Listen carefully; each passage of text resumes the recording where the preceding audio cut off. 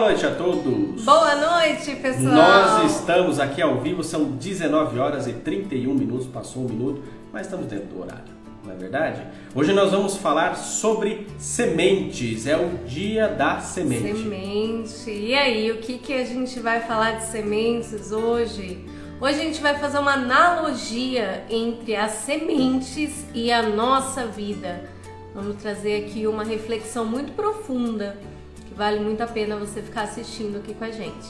É, tudo na nossa vida a gente pode utilizar simbolicamente para fazer referências profundas. Né? Nós temos aí as parábolas que estão aí mostrando quanto que as árvores, os animais, a natureza, elementos podem ser instrumentos filosóficos em meio a análise sobre a vida, sobre a rotina, sobre acontecimentos, trazendo algumas referências para nós refletirmos sobre a vida. Você tem semente aí hoje? Eu tenho sementes aqui, olha só, são sementes de girassol. E olha que interessante, cada semente tem a sua característica, qualquer semelhança é mera coincidência.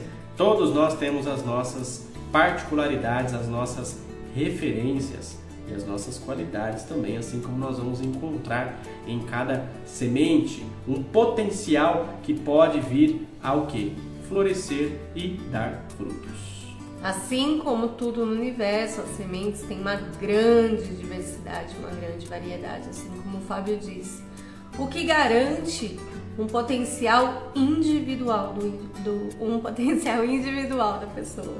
É isso aí. Veja que os estágios de uma semente, nós temos ali primeiramente o plantio, depois nós temos a nutrição. Essa semente, ela vai então desenvolver a partir dessa nutrição, tá? E às vezes pode ser o mínimo de nutrição, vai depender muito de cada semente. Lembra do, do feijãozinho que é colocado no algodão quando estamos na escola, o experimento de ciências, né? Que muitos já fizeram apenas água e um algodão como uma forma ali de manter ali é, aquele elemento, né? No caso aí a água. Depois ele vai ter o seu broto, vai crescer, vai ter o caule, vai ter as folhas, vai ter toda a sua estrutura. O objetivo aqui não é dar uma aula de ciências e biologia, mas assim trazer a reflexão, né? É o que é o mais importante. Então nós temos aí as folhas, as flores, os frutos, né? Toda esse, todo esse estágio aí importante. Cada semente tem um potencial para se tornar uma árvore, uma flor, um, um, uma planta. E assim nós somos. Dentro de cada indivíduo existe um potencial.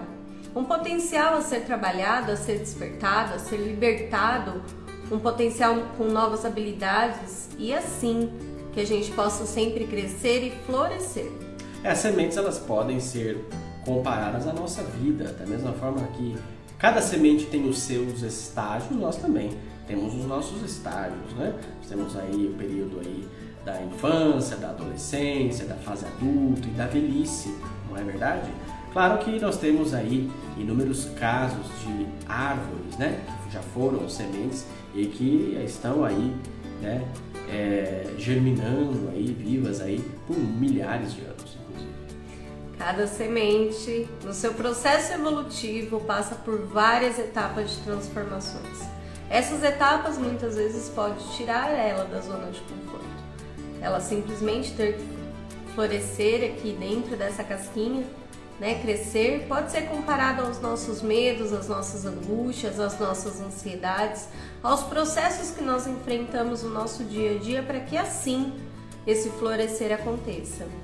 E a semente que nós plantamos, na verdade, é, é importante nós levarmos em consideração.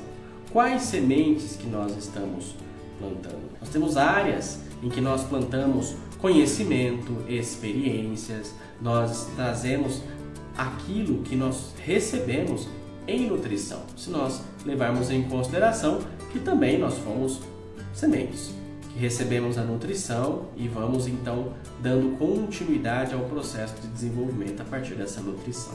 Assim como uma semente precisa de nutrição, precisa de água, de sol, a gente também precisa de um olhar atento para conosco, de disciplina, de atenção, de amor, de carinho, no autoconhecimento. Que é extremamente importante, principalmente nos dias de hoje. Exatamente. Não é? E aí nós temos o que? A semente ela tem o que? Conexão com a terra. Ou seja, ela recebe a nutrição e ela permanece recebendo essa nutrição inicial que proporcionou ela a germinar, a florir e a frutificar. E qualquer semelhança é mera coincidência, também nós precisamos continuar sendo nutridos. E muitas vezes, quando nós estamos aí na fase adulta, buscando é, muitas é, conquistas, buscando entender o contexto de vida que nós estamos inseridos, nós vamos nos perdendo. E nutrições importantes que antes nós recebíamos, não é? Ou já chegamos a receber, nós vamos deixando de lado e a vida começa a ficar mais difícil, porque nutrição está relacionada à sustentação e força. E aí, durante o período da vida, na nossa evolução, nós temos a oportunidade de ir plantando sementes. Agora, uma reflexão muito profunda de quais sementes nós estamos plantando no nosso dia a dia, dentro do nosso convívio, dentro da nossa família, dentro do nosso meio de trabalho, dentro da nossa dia no dia a dia. São sementes boas, sementes positivas, sementes de amor, sementes de fraternidade? Ou são sementes muitas vezes de raiva, de falta de perdão? Quais as sementes que nós estamos plantando? Porque a partir dessa semente plantada é que se dará um fruto forte, cheio de flores, ou uma árvore fraca, muitas vezes ressecada, endurecida pelo processo do tempo. Exatamente. Agora, vejamos com reflexão nós podemos trazer uma semente que pode não ser às vezes tão bem plantada, mas ela pode ser bem nutrida. Ou seja, há salvação para essa semente que foi mal plantada, mas ela pode ser bem nutrida e passar a ser uma semente bem plantada, caso ela não tenha antes sido. E daí nós podemos levar como reflexão situações em que vamos discorrendo na nossa vida. Algum, alguma desavença em que tivemos, nós podemos resgatar esta semente e fazer um bom plantio, considerarmos um bom plantio a partir de uma boa nutrição. Por exemplo, um ato de perdão, de conciliação e assim aquela semente plantada que não foi muito boa, ela passa a ser uma semente boa, uma vez que nós estamos o que nutrindo ela positivamente. Esse nutrir dessa semente nada mais é do que nós possamos olhar para dentro das nossas emoções, para os nossos sentimentos, a semente que habita dentro de nós, da nossa centelha, como que está a saúde e o equilíbrio dessa semente? Estou conseguindo ressignificar o meu passado, perdoar o meu passado, acolher o meu passado, liberá-lo? Eu estou conseguindo agradecer e ser grato a cada dia que passa pelo dom da vida, por ter a oportunidade de mais um dia? Como que está a semente que eu estou plantando? Porque é a partir dessa semente que novas sementes virão. Vamos ver aqui, ó. Nós temos aqui duas sementes. Vou fazer o plantio de uma. Vamos pegar como exemplo. Essa aqui é uma semente de girassol. Quando eu planto uma semente e ela germina, nasce uma planta, uma árvore, nós temos ali flores, nós temos frutos. Em cada fruto, dentre tantos frutos que nós temos ali, nós vamos ter o que? Várias sementes novamente. E se eu pegar uma daquelas, eu vou ter depois um outro plantio que vai gerar, no fim das contas, um outro fruto com várias sementes. Olha como a multiplicação ocorre de uma maneira exponencial. Sementes geram sementes. E da mesma forma que nós plantando dia após dia no âmbito familiar, profissional, social, nós temos essa possibilidade de a partir de um plantio, de uma mensagem de amor, de um abraço que nós damos em alguém, um auxílio aqui ou ali, nós temos essa possibilidade de passar adiante.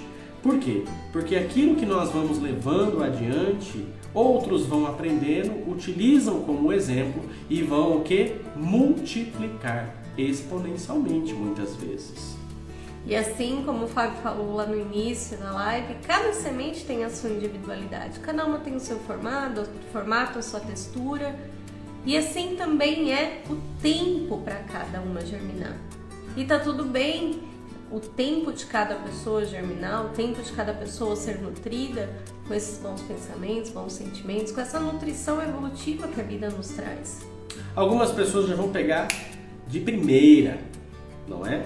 Aquela sacada, aquela ideia ou aquela forma de fazer que, a, que alguém ensinou. Outros vão levar mais tempo, está tudo certo. Né? Vejamos que cada um tem um pouco mais de facilidade com algumas áreas da vida, algumas atividades, a forma de pensar, a forma de compreender a vida, a forma de amar, a forma de reconhecer os valores e as fraquezas, os limites. Então, cada um está em um estágio evolutivo. Então, por isso que há um tempo para germinar. Veja que há sementes que você coloca ali, dois dias já está. Né? Sementes de pipoca mesmo, né? dois, três dias já está começando a brotar. Agora, há sementes que levam mais tempo para precisam germinar. de mais cuidado. Precisam de mais cuidado, precisam de mais nutrição. Isso não significa que ela seja uma semente ruim ou que não, não seja uma semente boa, mas é, isso está muito ligado com o que? O tempo natural das coisas, o mistério muitas vezes do próprio tempo. E hoje é um convite, uma reflexão bem rapidinha que nós viemos trazer aqui para vocês de qual as sementes que vocês estão plantando, aquilo que você está nutrindo a partir de você e em toda a sua volta, todos os seus âmbitos profissionais, familiares. São sementes positivas, bons pensamentos, boas ações, bons sentimentos, a coerência entre a mente e o coração. Ou a gente precisa olhar para esses movimentos e nutrir essas sementes. A partir de uma semente nutrida com amor, só vai se florescer amor. E com isso, tudo à nossa volta muda. Sabe qual é a melhor parte da semente? Qual é a melhor parte da semente? Não sei qual é a melhor parte. Olha para a semente. Ah. Qual é a melhor parte da semente que você Não acha? Sei qual é. A melhor parte da semente é o fruto. Ah, é o fruto.